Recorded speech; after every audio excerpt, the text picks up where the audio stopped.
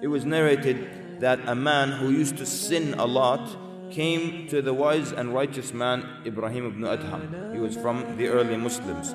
So he tells him, Give me advice because I always sin.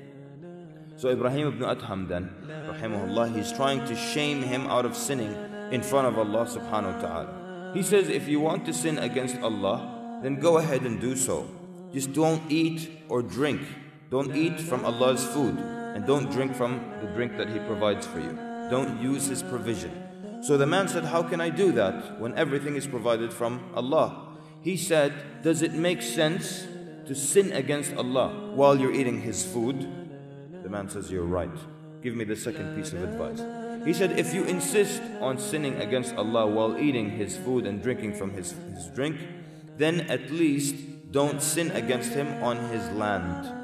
The man said, That is bigger than the first one when all the land belongs to Allah. He tells him, Is it proper then that you sin against Allah while you eat His food and you do it on His land? He says, Give me the third piece of advice.